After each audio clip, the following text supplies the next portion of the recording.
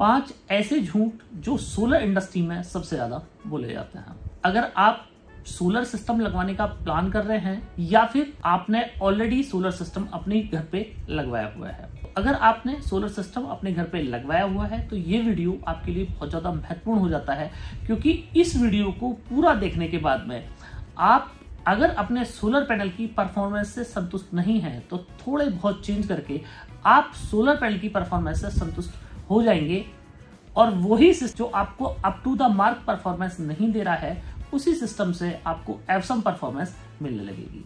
अगर आप solar panel लेने का प्लान कर रहे हैं तो ये वीडियो आप लोगों के लिए और भी ज़्यादा महत्वपूर्ण हो जाता है। इस वीडियो को पूरा देखने के बाद में आपकी गाढ़ी कमाई का पैसा एक सही जगह इन्वेस्ट हो जाएगा। तो फ्रेंड्स आज इस वीडियो में मैं पर्दाफाश करने वाला हूँ ऐसे पाँच झूठों का जो सोलर इंडस्ट्री में मोर देन 50 परसेंट से ज़्यादा बोले जाते हैं। और जैसे जैसे ये वीडियो आगे बढ़ता जाएगा वैसे वैसे आपकी आँखें खुलती चली जाएँगी कि जिस बात को आप सच मान के बैठे थे, वो बात असल में पूरी तरीके से झूठ निकली।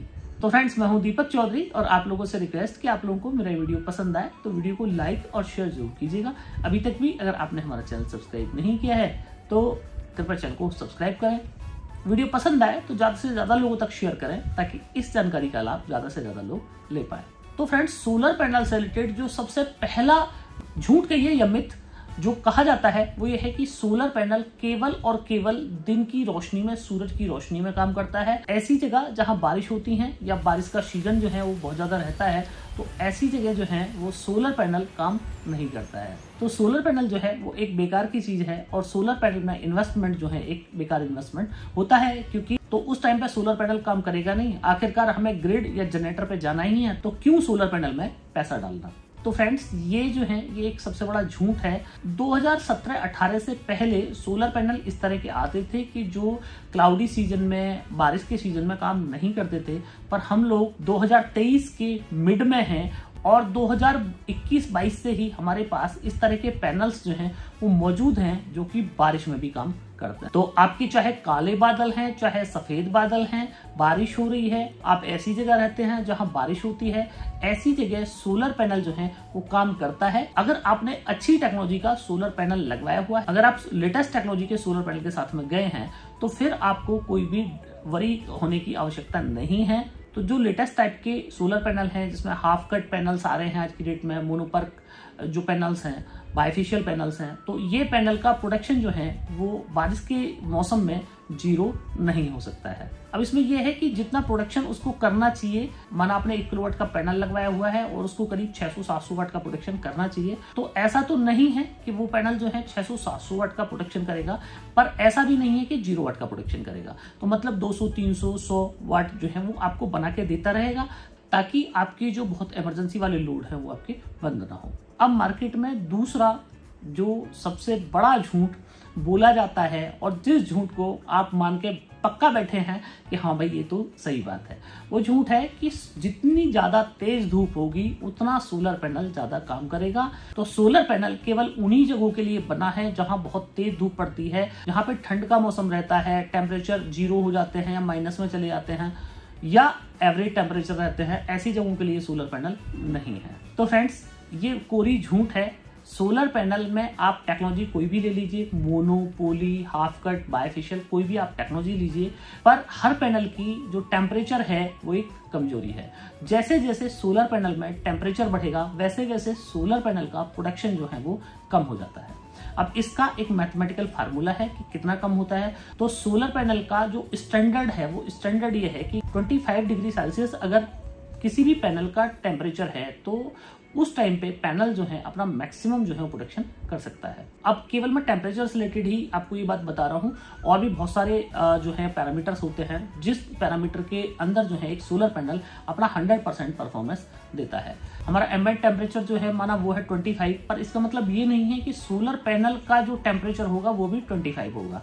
तो अगर आप अपने सोलर पैनल को देखेंगे, जिस टाइम पे आपके जो एटमोसफियर का टेम्परेचर है वो 25 डिग्री है तो मे बी पॉसिबल कि आपके पैनल का टेम्परेचर 30 या 35 हो। तो एम्बेंट टेम्परेचर से हमेशा सोलर पैनल के टेम्परेचर जो है वो ज़्यादा रहते हैं। तो 25 डिग्री सेल्सियस से पर डिग्री जितना जितना टेम्परेचर बढ़ता जाएगा पर डिग्री कमी जो है वो आती चली जाएगी। तो सोलर पैनल की जो टेम्परेचर है, वो एक कमज़ोरी है। अब किसी भी सोलर पैनल को काम करने के लिए टेम्परेचर मैटर ही नहीं करता है। सोलर पैनल को केवल मैटर करता है कि उसको जो रेडिएशन है, जो फोटोवोल्टिक रेज है, वो उसको मिल रही है। टेम्परेचर ज़ीरो है माइनस है मैटर नहीं करता है। आपका सोलर पैनल काम करता रहेगा। तो अक्सर आपने देखा होगा कि जब मई, जून के महीने में सोलर पैनल के जो प्रोडक्शन है, वो कम हो जाते हैं। आपका एक सौ वाट का पैनल अगर आपका साठ, सत्तर वाट बना के दे रहा होता है सर्दियों के टाइम में तो गर्मियों के टाइम में वही पैनल 40 से 50 वोट बना के देने लगता है। तो उसका सिर्फ़ और सिर्फ़ रीजन जो है वो यही है। अब इस रीजन का सॉल्यूशन ये है कि अगर आपने पैनल अभी तक नहीं लगवाया है तो फिर आप ये कर सकते हैं कि आप बायफेशियल जो है वो पैनल ले सकते हैं। तो बायफेशियल पैनल में क्या है कि सेल टू सेल जो है वो थोड़ा सा गैप होता है। जिस गैप में से जो लाइट है वो आर पार हो जाती है, जिसकी वजह से पैनल के जो टेम्परेचर है वो बहुत तेज़ी से नहीं बढ़ते हैं। इसलिए सोलर पैनल की जो परफॉर्मेंस है वो बहुत ज़्यादा नहीं गिरती है। अब यहीं पे एक चीज़ मैं आप लोगों को और बता दूँ, जिन लोगों ने ऑलरेडी सोलर पैनल लगवाए हुए हैं तो बहुत सारे लोग स्ट्रक्चर का लालच करते हैं उनका टीन शेड लगा है और टीन शेड पे ज़ीरो स्ट्रक्चर पे जो है वो अपना पैनल लगवा लेते हैं। तो ज़ीरो स्ट्रक्चर मतलब टीन शेड पे आपने चार इंची या छह इंची आपने उठवाया पैनल को और लगवा दिया तो उसको ज़ीरो स्ट्रक्चर बोला जाता है। तो ज़ीरो स्ट्रक्चर पे पैनल कभी नहीं लगवाना चाहिए, उसका रीजन ये है कि हमारा नीचे टीन शेड है, टीन शेड गर्मी से तप रहा है, ऊपर छह इंच ही उसके पैनल है। तो जो टीन शेड की जो तपत है, उस तपत से जो हमारा सोलर पैनल है, उसको नुकसान पहुँचता है। उसको नुकसान क्या पहुंचेगा कि ऑलरेडी एक तो पैनल गर्म है, ऊपर से जिस स्ट्रक्चर पे पैनल लगा हुआ है, माना कि टीन शेड पे लगा हुआ है, वो टीन शेड बहुत ज़्यादा भबक रहा है गर्मी में। टीन शेड है, वो अपनी हीट को रेडिएट कर रहा है, अब वो हीट को एब्जॉर्व कौन कर रहा है? उसको सोलर पैनल एब्जॉर्व कर रहा है। तो बिना मतलब सोलर पैनल के जो टेम्परेचर है वो बढ़ते चले जाते हैं, जिससे आपके सोलर पैनल का जो परफॉर्मेंस है वो कम हो जाता है।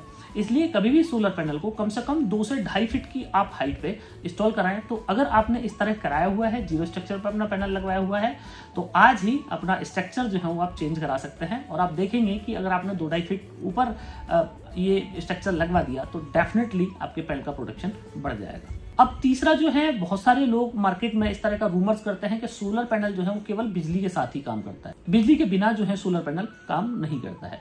तो फ्रेंड्स सोलर पैनल की दो तो अलग अलग टेक्नोलॉजी है, एक है ऑन ग्रिड और एक है ऑफ़ ग्रिड तो जो ऑन ग्रिड सिस्टम होते हैं, वो इस तरह डिज़ाइन किए जाते हैं कि वो केवल ग्रिड की अवेलेबिलिटी पे ही जो है, वो काम करेंगे। पर सारे टाइप के सोलर सिस्टम इस तरह के नहीं होते कि वो केवल ग्रिड के साथ ही काम करें। मार्केट में जो दूसरे टाइप का सिस्टम है ऑफ़ ग्रिड उसमें बिजली की कोई कोई ज़रूरत नहीं है। आप बिजली रखना चाहें, आप रख सकते हैं, नहीं रखना चाहें, ना रखें।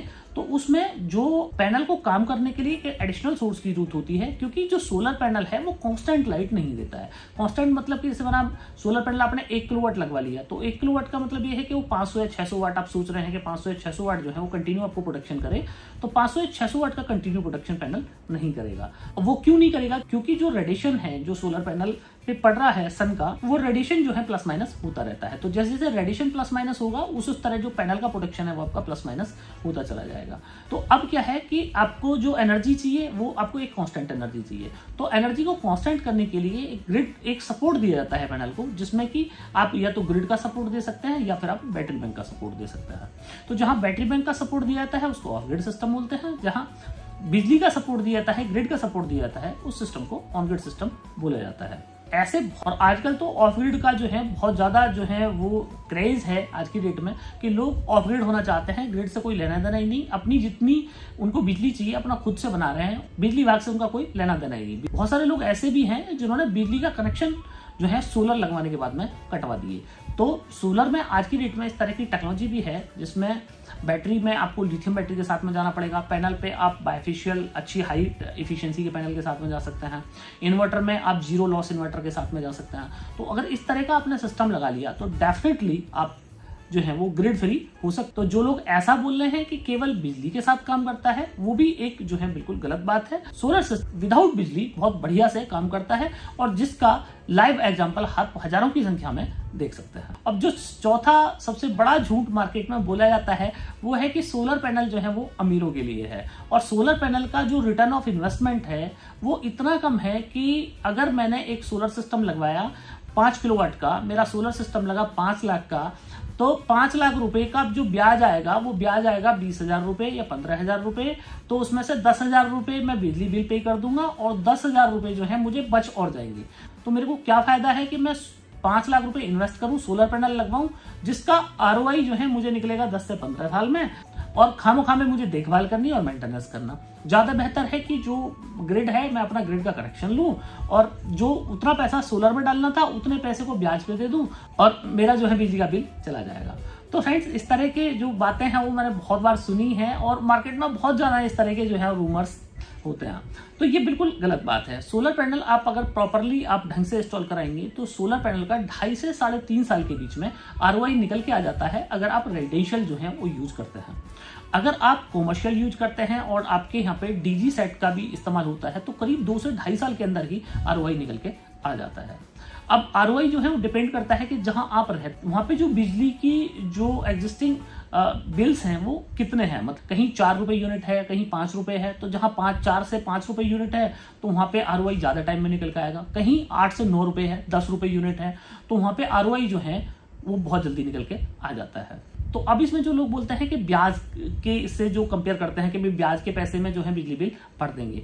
तो वो लोग जो है वो केवल एक ही पार्ट देखते हैं। दूसरा जो पहलू है, वो दूसरा पहलू ये है कि ग्रिड जो है वो 24 फोर आवर्स नहीं रहती है। उस ग्रिड का आपने अगर कनेक्शन लिया हुआ है तो कनेक्शन लेने के बाद भी आपको जब ग्रिड जाती है आपकी, उस टाइम पे भी आपको एक इन्वर्टर बैटरी आपको कम से कम रखना पड़ता है। और कई बार ऐसा भी होता है कि कई कई दिन तक जो है ग्रिड चली जाती है, आंधी तूफ़ान में लाइन वाइन टूट जाती है, कई बार दिक्कतें बन जाती हैं।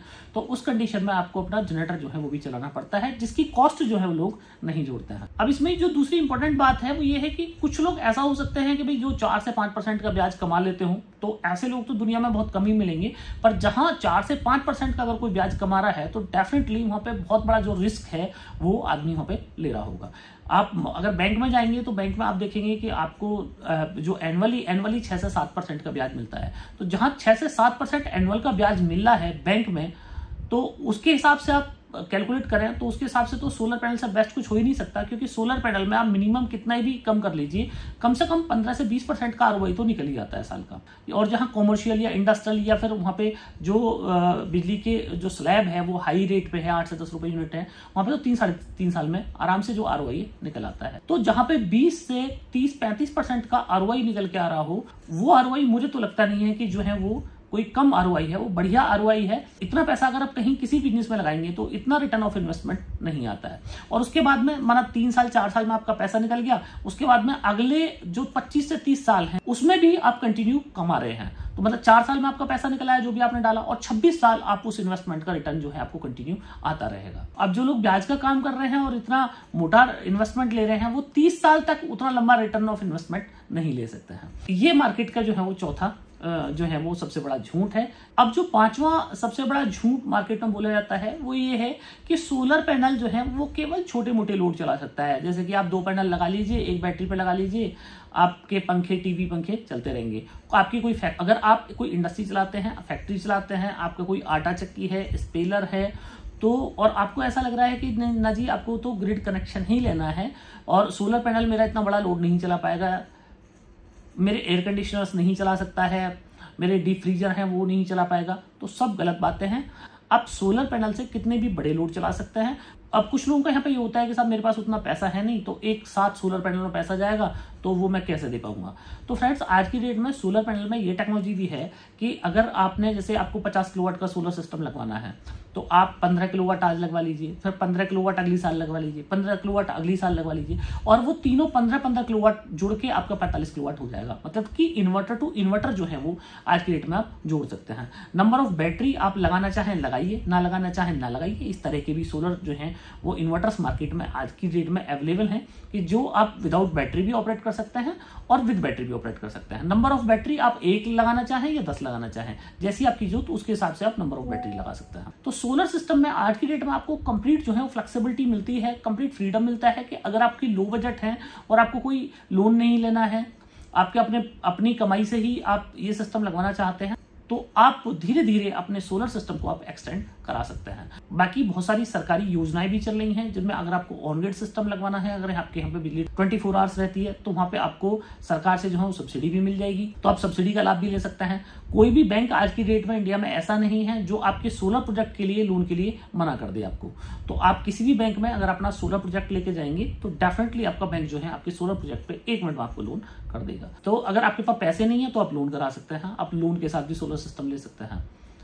और अगर आपके पास में कम बजट है, आपको लोन नहीं लेना है तो आप धीरे धीरे अपना सिस्टम एड ऑन करा सकते हैं। तो फ्रेंड्स ये थे मार्केट के पाँच सबसे बड़े झूठ कि जिन झूठों को एक आम इंसान सच मान के सोलर सिस्टम से दूर हो रहा है। तो फ्रेंड्स आप कमेंट करके मुझे ज़रूर बताइए कि आपको मेरी ये इन्फॉर्मेशन कैसी लगी। इस इन्फॉर्मेशन से अगर आपने कुछ आपको फ़ायदा मिला हो तो अपना एक्सपीरियंस आप कमेंट में ज़रूर लिखें। मुझे पूरी उम्मीद है कि आप लोगों को मेरा वीडियो बहुत पसंद आया होगा। वीडियो अगर पसंद आया हो तो इस वीडियो को ज़्यादा से ज़्यादा लोगों तक आप शेयर करें, ताकि इस जानकारी का लाभ ज़्यादा से ज़्यादा लोग ले पाए।